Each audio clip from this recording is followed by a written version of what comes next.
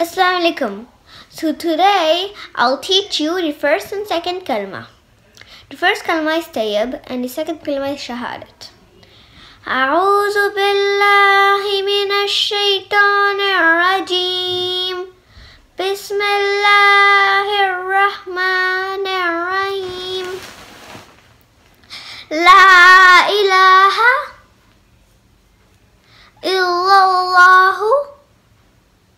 Muhammadur Rasulullah.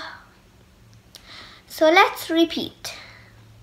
La ilaha illallah Muhammadur Rasulullah. Second kalma. Ashhadu an la ilaha illallah وحده لا شريك له.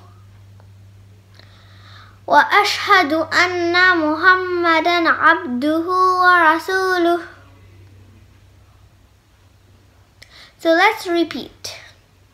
أشهد أن لا إله إلا الله وحده لا شريك له.